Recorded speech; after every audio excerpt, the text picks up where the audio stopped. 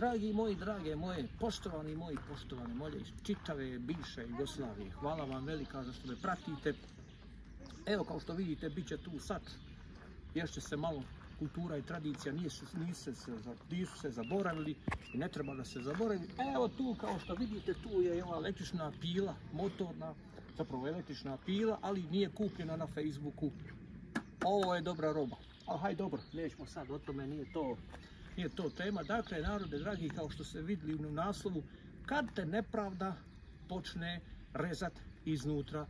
Evo vi koji me pratite ima tri godine, znate dobro moj slučaj s onim STA atletičarom Sluga i Pijun STA na 800 metara, onaj što je osvojio medalje.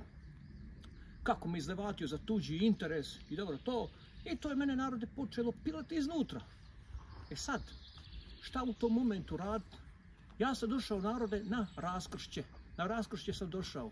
S jedne strane šutnja i uništeno zdravlje, s druge strane govor, pisanje i spašeno zdravlje.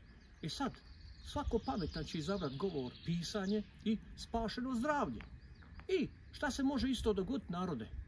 Neko ima i koji misle šta će drugi kazati, šta će reći.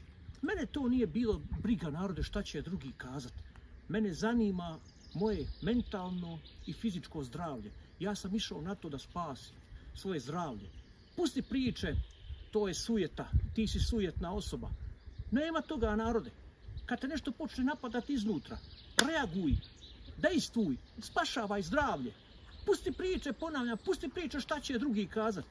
Pusti priče da sam ja slušao ovu balijsku fukaru, intelektualnu fukaru među bošnjacima, koji su me napadali zbog tog SDA atletičara. Pa ja ne bi danas bio ovdje s vama. Ne bi bio s mojom djecom koja su sad iza telekamere tamo koji me gledaju. Ne bi bio ovdje da, jedem, ovaj, da, da, da ako Bog da, jedem ovo, ispod sača. Ne bi bio ovdje među nama, među, među vama, među nama, kako hoćete. Nego sam išao na to da spasim svoje zdravlje. I ja sam ga, hvala Bogu, spasio. Zato ja svakome savjetujem, dragi moji, kad te nešto počne pilat iznutra, ono kad krene, krene, ono ne pita pa eto, pa slažeš se ti, ono krene i počne te pilati iznutra.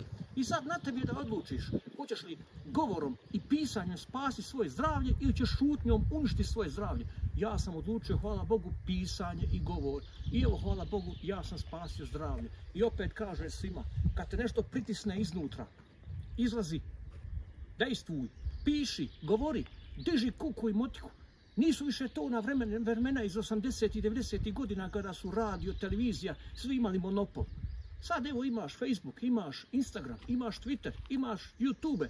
Izlazi, piši i govori. Toliko narode.